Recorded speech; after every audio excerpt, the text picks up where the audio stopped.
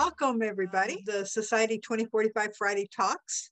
Uh, they're interviews with people worldwide who are seeking to create a better future through social movements and thought leadership. Uh, we aim to bring together social movements from across various disciplines to help co-create a broader and more cohesive vision for the year 2045. We have a collective vision of what it might be like, but we want to add yours. We can create a more robust voice for change by bringing together adjacent movements and thought leaders. And one of those thought leaders is with us here today, and that is Christine. And I think I say your name McDougal. Is that? Yeah. yeah. Okay. so I, I, met Christine a long time ago.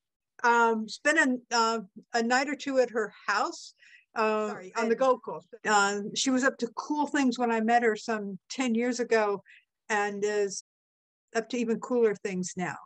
So Christine, you can tell everybody uh, what you're up to. And we'll have some questions, some of which are standard questions and some of which are just conversation. So welcome. All right. Thank you. Thank you very much for having me. Uh, I, uh, well, actually, I, I start. I will start on some sort of linear timescale. In my in my mid twenties, I was introduced to the work of Buckminster Fuller, and uh, I think the thing that captivated me most about his work in the early days was the example he set, because integrity is kind of the thread of my entire life. And so the example he set at the age of 32 uh, was attempting suicide, feeling that he was a failed business person and a, a terrible father. Um, his uh, first child had died. He dedicated his life to serving the highest good for the highest number of people without ecological offense or the disadvantage of anyone. And he set out a set of self disciplines to demonstrate that when we did this, when we were when humans are spontaneously arousable uh, to act for the highest good, uh, that our needs would be taken care of. And he wanted to demonstrate that possibility. And so I think that was the thing that captivated me the most in my 20s when I say that I'm influenced by his work, I mean that superficially. I had the good fortune of spending seven days doing a, an incredible deep dive, 18 hours a day, seven days a week, uh, with uh, Amy Edmondson, who's a Harvard professor now, who was his protege for the last three years of his life, and the author of my most favorite book, which is a fuller explanation, which is a book for nerds. Um, and, uh, and so uh, and other people. And we were building models and really exploring his thinking. And so I have used, I have been influenced by him more than any other person in my life because very early on, I started off with a medical science degree. I knew that that was too confining for me um, because I have a more whole systems perspective. And so I was I was part of the early, and I mean early, early coaching movement, obviously, that happened out of the United States. You will all laugh at this because uh, this is back in the 90s when uh, in Australia there was five people I knew who were calling themselves coaches that weren't sports inclined. So, you know, that seems peculiar today, but there you go. Uh, and I'm back in the 90s. I went to a coaching conference in Phoenix, Arizona. It's called the International Coach Federation. and uh, a little upstart Aussie landed in this coaching conference. And I went up to John Seifer, who was the president at the time, and I said, I can't see any internationals. So, what the hell are you calling yourself the International Coach Federation for? and as a result of that, I got invited to be the first non-American on the board of the International Coach Federation and uh, and set up the whole chapter system worldwide and everything else like that. Um, started coaching in Australia which got me into the corporate arena. And it wasn't it was accidentally inadvertently not by design in banking and finance. So none of that was strategic. It was completely happenstance what i did with bucky's work was i was applying it to human relational geometry so human synergistics Bucky spent most of his time applying it to uh, the built environment. And uh, so he's very well known for the geodesic dome, but he was designing cars and houses and cities and communities that were completely off and using the minimum amount of materials and et cetera, et cetera. And he was doing that back in the 1930s. So kind of well and truly ahead of his time. He also, in the 1927, he wanted to determine the all-in accounting cost of a barrel of oil.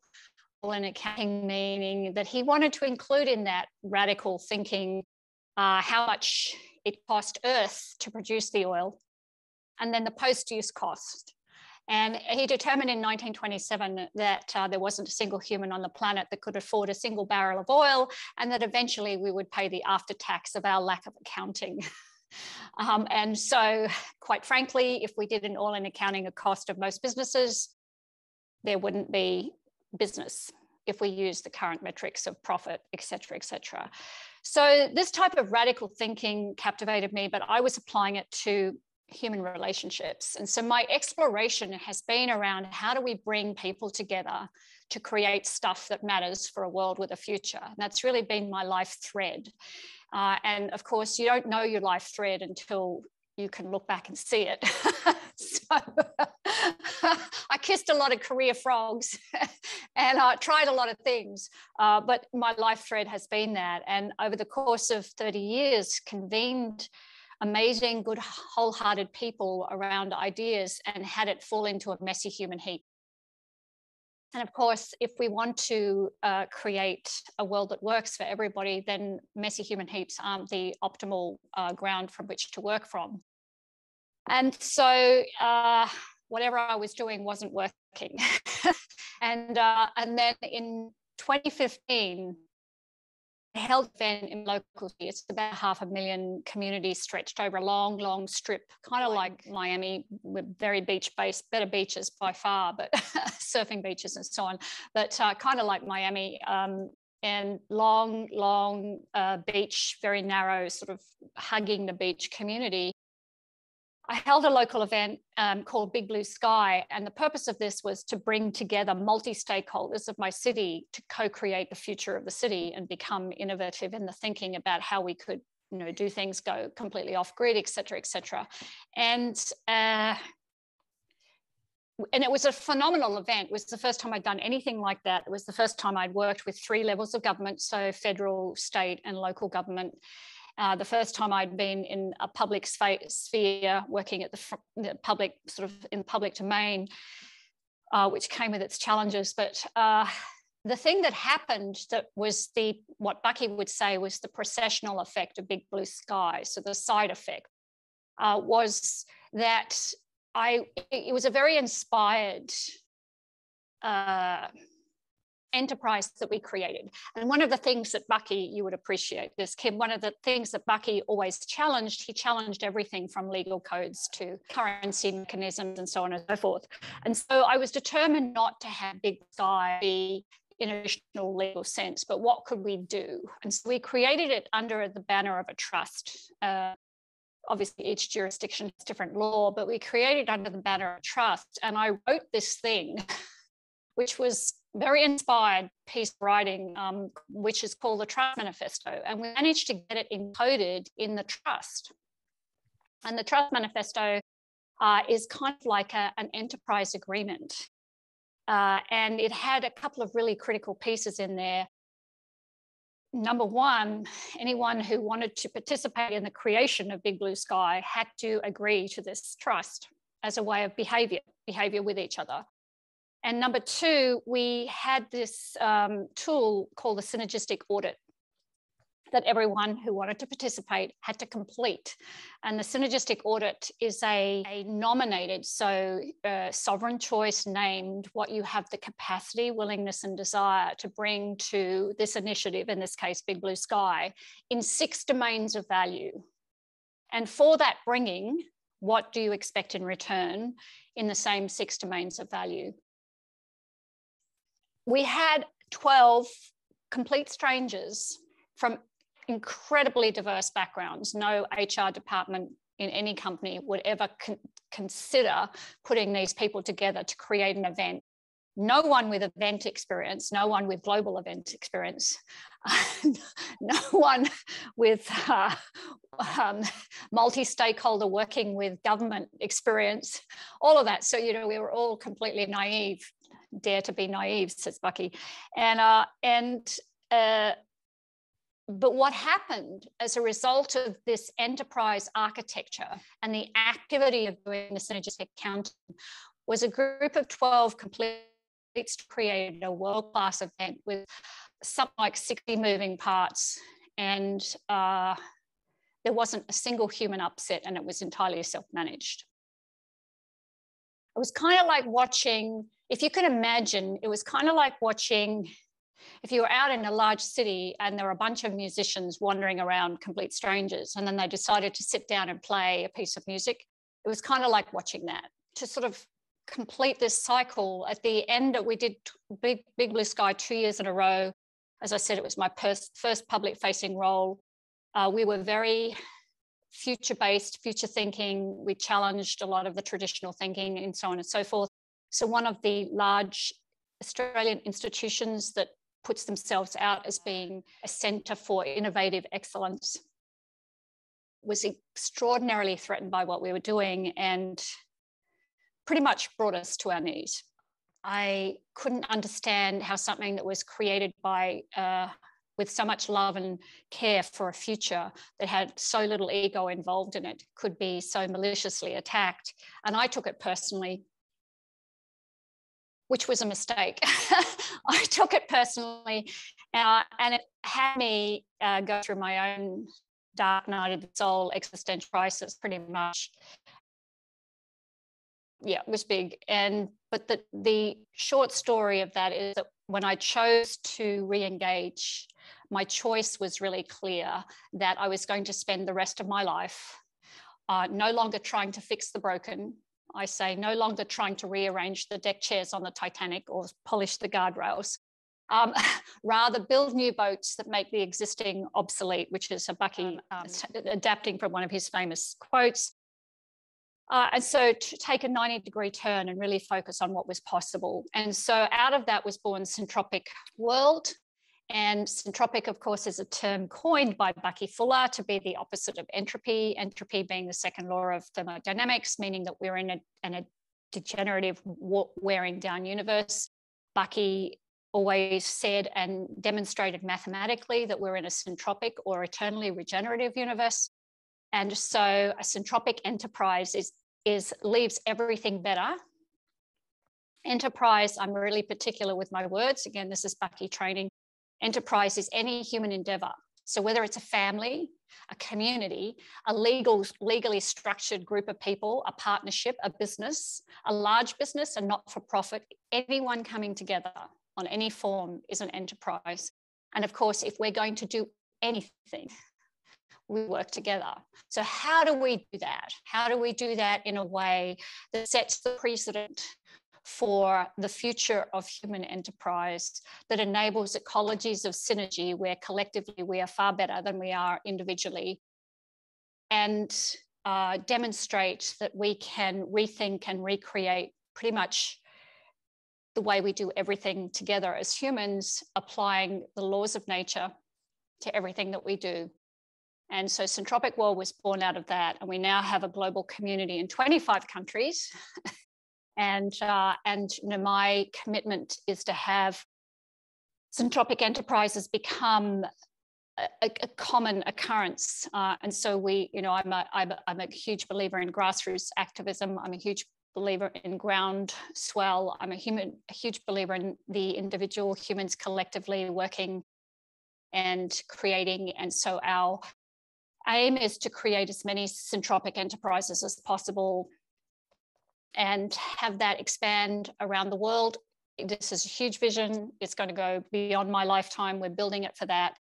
And, uh, and to have, uh, as Bucky would say, argue with the model, have the models and the demonstration and the stories and the outcomes and so on, uh, tell the story and create the gravitational attraction that creates more impetus, more synergy, et cetera, et cetera. That's kind of the uh, short version, three years old we are now. Uh, COVID was great for us because it took us from being live in person. So um, you mentioned six domains of value. Can you go back yeah. and and talk about those? Yeah, uh, the model that we use for that uh, is anyone deeply familiar with Bucky's work? Um, so uh, so really what he was doing and i'm coming back to his work because it's important really what he was doing was he want he wanted to understand the working laws of universe how things work. If i release my fingers there's no delusion about what will happen. We're not going to have a glass of water go up. We know what will happen if i release my fingers. So the law of gravity of course is 100% all of the time on everything for everyone anywhere, anything on earth. Um, I don't like it sometimes when I see what it's doing to my face, but you know, there it is. But we don't think of applying the laws that we live in, breathe in. We don't think of applying those to everything that we do. And which is just just a startling when you really think about that, a startling in, indication of our hubris and separation from nature and natural systems and natural design. Uh, and so we built the synergistic accounting model on this on the 12 degrees of freedom which is uh, one of the laws. uh, and so in order to stabilize any anything in space, to keep it stable, you need to have 12, um, six positive and six negative um, just think of a hub of a wheel, like a bike, bike wheel before they became carbonated or special fiber. So that you have the hub and the spokes, and you need to have six on the top and six on the bottom to stabilize the hub, to stop it from spinning, twisting, moving this way, to keep it stable in motion. Geometry, of course, is the study of relationships. And so if we're going to do anything, we need relationships to work. But we never think about applying geometry to how we coordinate humans. Again, you know, our hubris that it's just this magical thing that happens.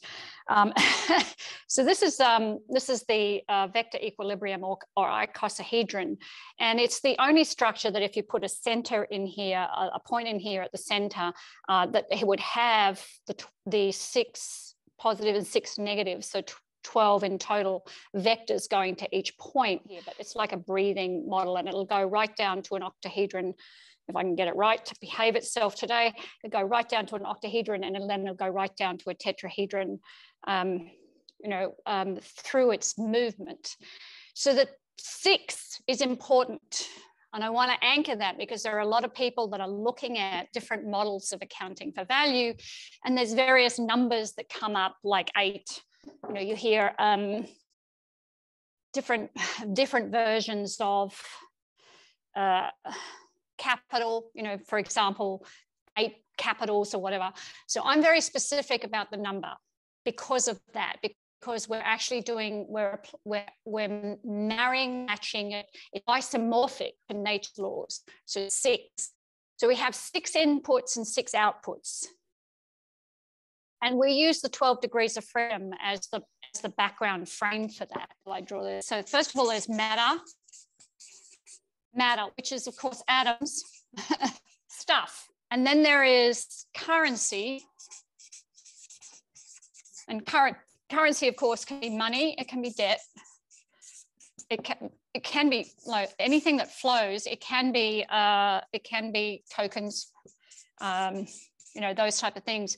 So credit, etc., etc. So currency. Uh, then we have knowledge. And knowledge is nothing unless you apply it. so if you've got a whole ton of knowledge in your head and you're not actually putting it into the world, it's useless. It has no utility value. Um, and so knowledge needs to be um, applied knowledge. Uh, then we have uh, tools and artifacts. And so tools and artifacts can be, uh, it can be things like the, the facilitation tool, which is you can't, you, you might be able to draw it or whatever else like that, but it, it, in, it, in its delivery, it is an immeasurable weightless. We have tools and artifacts and then we have um, warm data. Warm data, of course, is a beautiful term coined by Nora Bateson. If um, anyone's familiar with anyone familiar with Nora's warm data work, yep. So warm data is uh, everything that occurs between the spaces of relationship. So if uh, Kim and I were in a really robust, passionate conversation about something that we both cared about, all of that material, which of course, again, is weightless, immeasurable, invisible, all of the emotion and the passion and the vitality and the aliveness and the, there might be frustration, all of that is warm data. So it's in our data collection, it is something that is completely and absolutely ignored in most cases. Yet it's the thing that makes us most human. Uh, and so there's the warm data, and then there's wealth, wealth and well-being. And in actual fact, the etymological root of wealth is well-being. So I'm not talking about wealth in the way that we might hold it from a, a, financial point of view. I'm talking about it in the way that Bucky coined it, which is the number of days forward we can sustain life for the X number of people. And so wealth and well-being. And so this is this is there is the uh,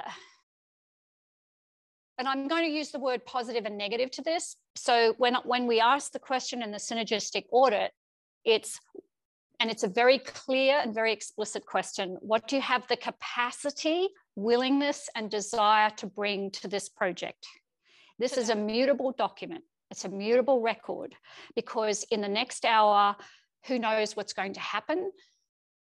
and we're creating space for life and humanity, not stasis and that everything is perfect in an hour. So, for example, when we did Big Blue Sky, Lou, my co founder, um, one day she rang me and said, um, My daughter's in emergency, I'm out. And because of the way that we structured the enterprise, she only needed to ring me and let me know the that bringing the enterprise adapted to her not being available and gave the space and the grace. She was out, no question, no question. But we had within the design of how we convened and cohered as a group of people the adaptability for that to just be an exhale and an inhale. And so, uh, so this is a mutable record what do you have the capacity, willingness, and desire to bring to this project or this enterprise or this family or this community in these six domains? And then for that, for bringing that, what do you expect in return in these same six domains? And what happens when we have this conversation? Well, several things. It's like layers of an onion. So, has anyone ever had um, has anyone had any difficulty naming the value that you have? Naming it out loud. Or the value that you have to bring. Anyone have any difficulty naming the value that you have to bring out loud to somebody else? Anyone had that issue? You haven't had that issue of I'm I I'm valuable in this way. I have this knowledge. I'm, you know, it makes me valuable. This is my value no one's had that issue. me, it's an ever evolving inquiry. Yeah. and, and, and, and often situational. Yes. Right. yeah. Uh, so it, did, it did, it did take, people... it did take 64 years. Oh, I'm asking, you know, so, so I'm not suggesting, experience? I'm not suggesting it was easy. I'm just saying I, I, I did get about, there. I was yeah. about to say, we're an older demographic yeah. and we've spent some time thinking about this. well, anyway, quite a few people have a have a difficulty naming their value, and so, it, uh, and then on the other side of that, quite a few people have a difficulty asking for what they think they should be receiving for that value contribution. And so, in the very act of completing the, the audit, is a confrontation with our own self because everything that we do in Syntropic is an interior and exterior developmental piece as well. So it's a confrontation with your own self. And because of the container that we've created in the Trust Manifesto, um, one of the other tools that we use is clean communication, which is really powerful. But because of that container, uh, that means that just by nature of putting this out there, a lot of people go through their own sort of like excavation. Um, I had one person spent eight hours trying to fill out this audit. And it was so painful for him to do that.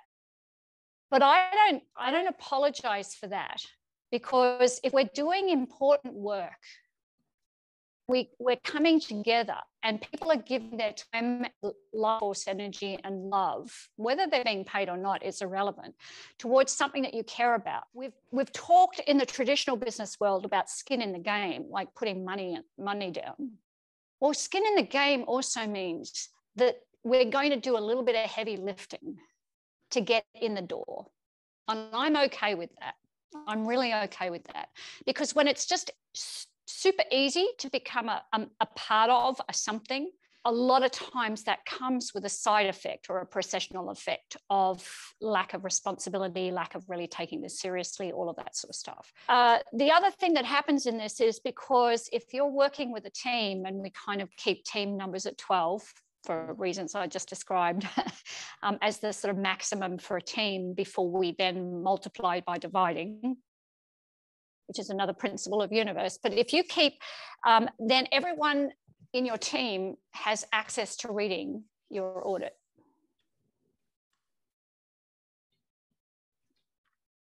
Because we need to be transparent.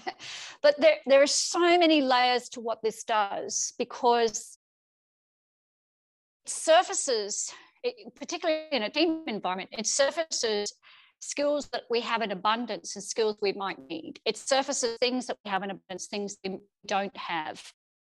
It, it, so if we go back to this, um, you know, if we go back to this and we did, we did the, we did the, uh, the visual representation of this, you could see that if you had, like, if you didn't have any money in the in the in the um, enterprise that the shape of this would actually change because this bit here say in a team of 12 wasn't there to hold the shape of what we're doing. And so this is it, it's a, it has a mapping reference to uh, the things that we have in abundance and the things that we have in abundant scarcity within this team of people. The other thing that happens with this is when when people share this uh, with each other uh, we've had um, we have a, a, synergistic accounting class and and the experience of that is that you fill out your synergistic audit you get to show up um, you choose which week you're going to do it and you get to show up and go through your audit out loud with other people and I can tell you that that is one of the most incredible team transformation things that in all of my years of working in corporate, when in uh, human coaching and stuff like that, has been one of the most powerful things. Because when people start speaking into this, I, it it just it makes the relational connection, the covalent bonds of humanity, so far so much stronger um, than you can imagine. So they're the they're the uh, and then as the enterprise this is how we do our um, audit. So we speak, um, and I did one for Syntropic World at the end of last year. I'll do another one. We go through these, these dimensions. Uh, and so kind of like the company statement, I guess.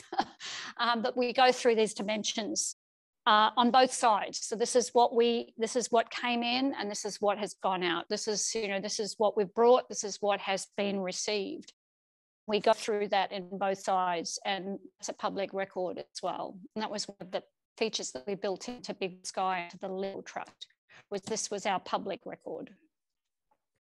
Yeah, so I don't know, I could I could speak about this as a, a two-day workshop in here, but so.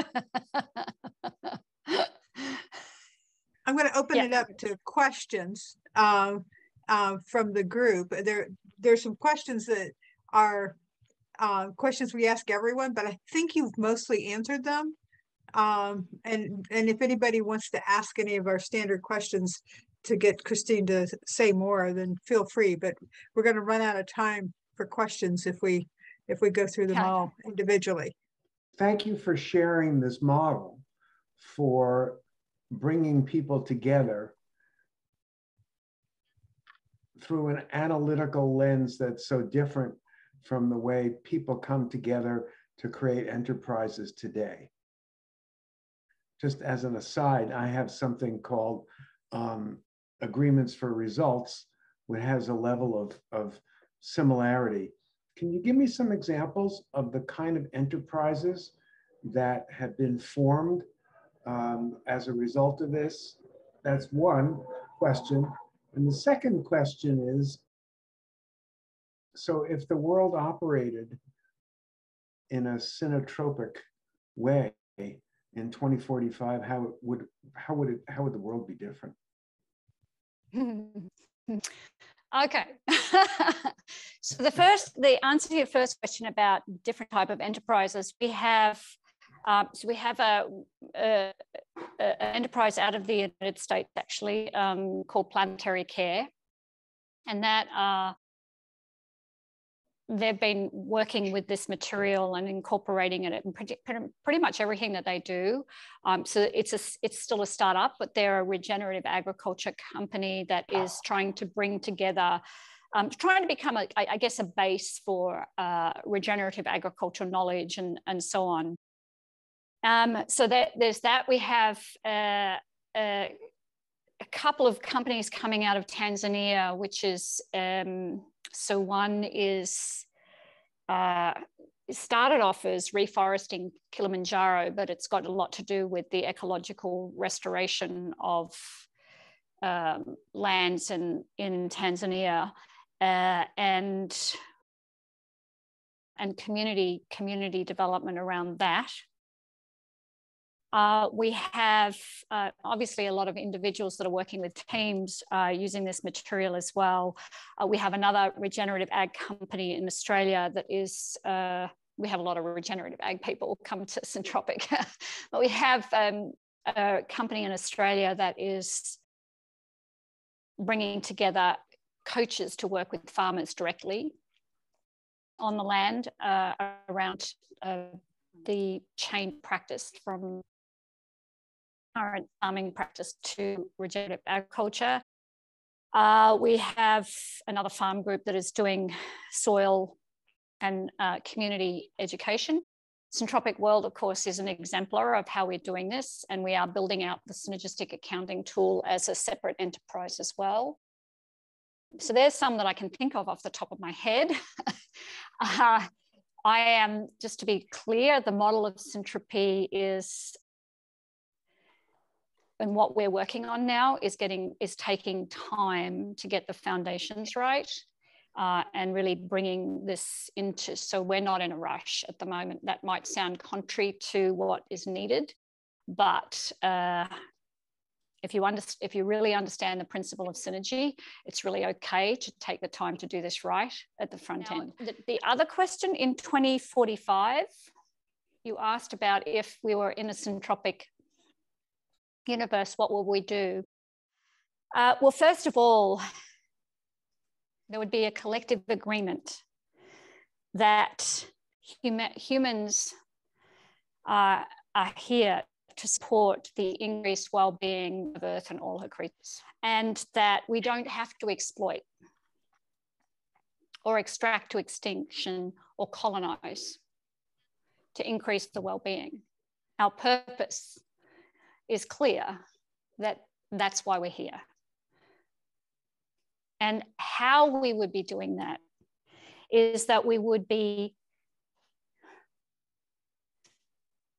stepping off our um, hubris and arrogance as humans uh, and uh, remembering that we are actually nature, not separate from it, and that the infinite wisdom of nature uh, that is tried and tested over billions of years, way beyond the capacity of us humans, has figured out how to coordinate, collaborate, create beauty, create longevity, create heritage. And we would be representing that in everything that we do. So thank you, Christine. One, one follow-up question. You mentioned a, a syntropic accounting system that you were working. Uh, uh, which, sorry? I, I, think I heard you say you mentioned that you were working on a syntropic accounting system. Synergistic, this one, yeah. Yeah. So how? Yeah. Can you give me some idea of how that worked? What how that works? and, well, and I've just I've just shared with you this high end. This is you know it's really it's a it's a it's it's this is kind of like getting you to um, showing you uh, showing you the Grand Canyon through photographs. I have been there, so I know that the photographs are, are nice, but the experience is where you kind of like take a gasp. Yeah. And and, and so this is this is the synergistic accounting tool. Um, there's so much more behind this and so where we've got um, i'm fortunate now uh, we've attracted a world-class um, ex big business CTO who's a Syntropic um, who loves this work. And so we're, we're really exploring how we can use the most advanced technology, um, Web3, et cetera, et cetera, to, to build out this platform on the synergistic accounting uh, that enables it to become a tool that people can use with ease. At the moment, we're doing it in a very warm data human to human, which is great and fantastic um, uh, way, but how do we do that? And built within this as well, there's a whole mechanism for provisioning, uh, which is a huge piece in Syntropic world. We've got to get away from the capital, capital accumulation, capitalism, um, and uh, and venture capital, and so on and so forth. And so there's a whole mechanism that lives behind this for provisioning. Mm. There is entire possibility of removing the need to have, because part of this, of course, is that in our current world, one element of this, one element of this has power over everything else. And of course, you know, nature doesn't do monoculture. Uh, and so we live in a world where money has, has the denominational power of value over everything else. And in the accounting metric, anyone who has fallen in love and had their heart broken or been present to the birth of a child uh, knows that to, to bring some of our human experiences to, into a dollar value to commodify it is a debasement of humanity. And so until we start to recognize and honor value in multiple domains and not consistently and habitually reduce those domains to a dollar value to commodify it, then nothing we do is going to restore uh, and honor the multiple uh, values that we have in the world. And so, as I said, you know, I'm just I'm giving it a taste of something that is has complexity and depth behind it that you know you're not going to get from this little thing. of course, and and, and I, I, I have to ask a, another follow up, but yeah. I think I'm ask, I think I'm asking questions that everybody here would ask because one of the one of the things that, that we are always seem to be pushing up against is the way we're all wired to view things mm-hmm. through a traditional capitalist mentality, okay, mm-hmm. of profit and loss in a traditional sense. That being said, do you have some sense of, of how this conversion is going to happen at a large scale? um, and so this is yeah and so the, the good part of this and this is because this has been thinking over 35 years or something it's a life work thinking behind this and remembering that I spent most of my life, um, I would say now, rearranging deck chairs on the Titanic after the iceberg had been hit and hoping for a different outcome. And, uh, and you know, my existential crisis said, you know, that's not the way to do it. So, and this is again coming back to Bucky's example that we need to build the models. And so, what we're doing in Syntropic World is by stealth. I'm not interested in a big, bold, you know, launch, none of that, because we're doing it by stealth. This is the foundational thing. Getting the material and the work and the use cases and the smaller businesses and so on, getting those things happening and thriving and alive. because as you know, when we have, when we increase the number of those that are working and we increase you know, whether it's the white paper or whatever the traditional mechanism is, when we do that and we do that and we increase, this is actually the law of gravity. I'm you know, when we increase the mass, the metaphysical mass and the number and so on, the gravitational attraction increases.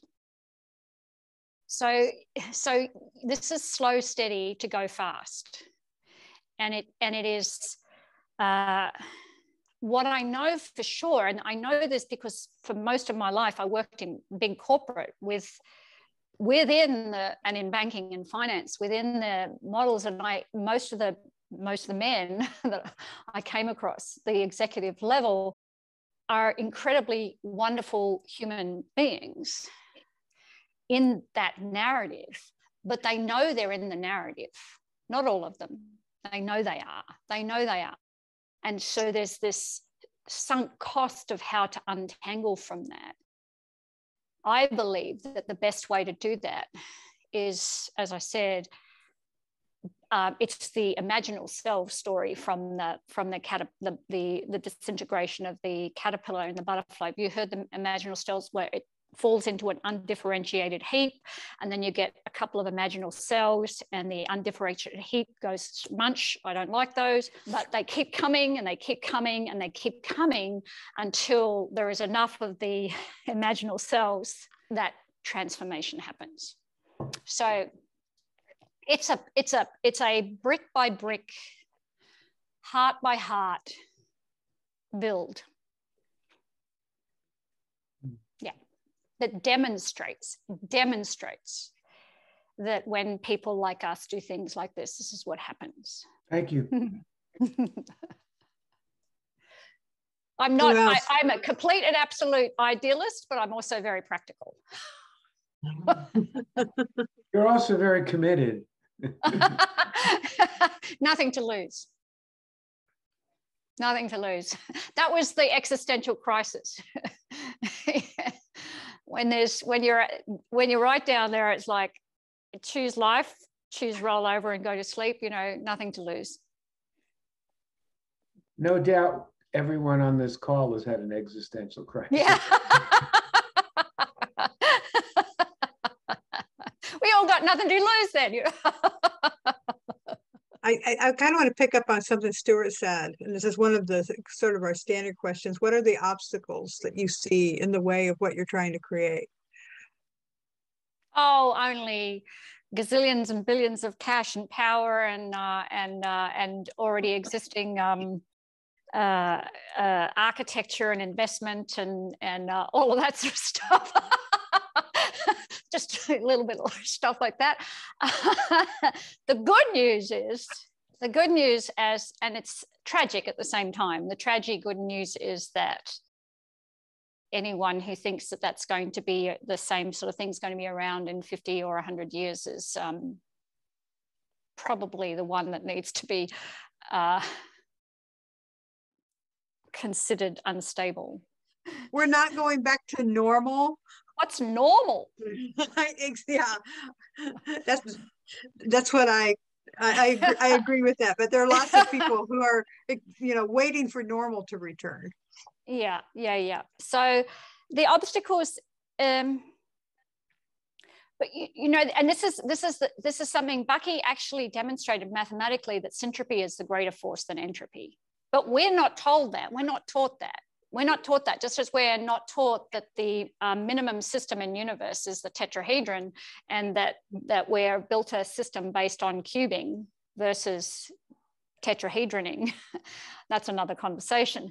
But um, we're not taught that. So we're not taught, uh, you know, we're under so many delusions and illusions, but the, the syntropy is the greater force. And I think most of us who've been around as long as you guys have been around know this because you know that it's the it's the archetypal battle of like good and evil. um, know that that the light kind of happens more in the end, and the arc of humanity is messy and shitty and terrible and destructive and bloody. And yeah. And yet we pick ourselves up and we keep moving. And inside most humans I've met, there are a few psychopaths and sociopaths, but most humans I've met have decency and love and would just really like to do live in a world where they can express themselves and experience love and care and uh, and you know most so that you know that's the that's the that's the positive to it and that's the greater force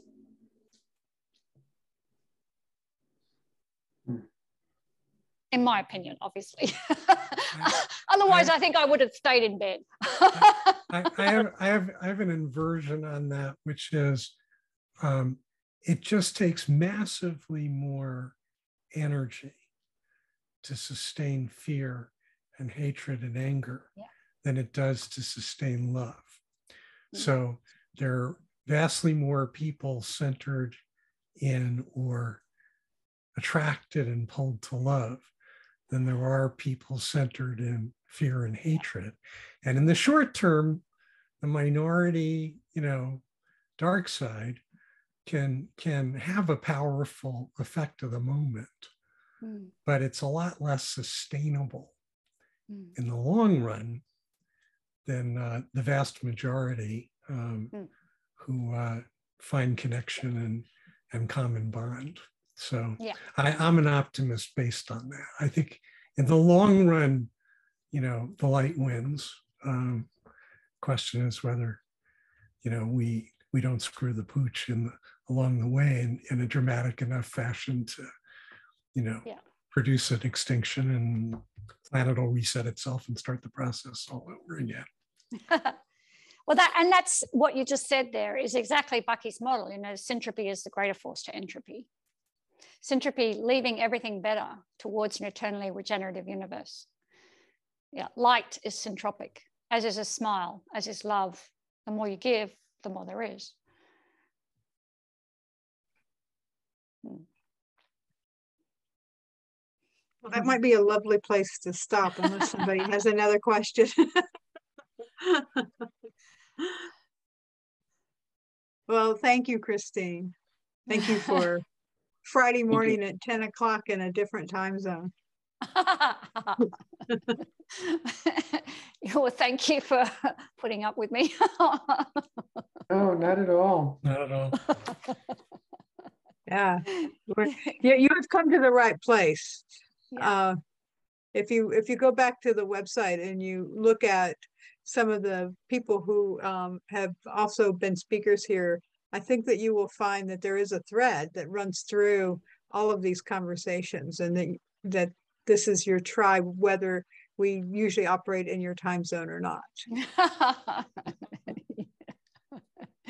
yeah, well, thank you very much. And uh, um, if anyone's interested, I do write, a, it's a huge production. It takes two days of work, but I do write an article every week on Sunday, which we put out on Sundays called Sunday Syntropy. And um, the one that I've done this week is uh, the principle of exchange.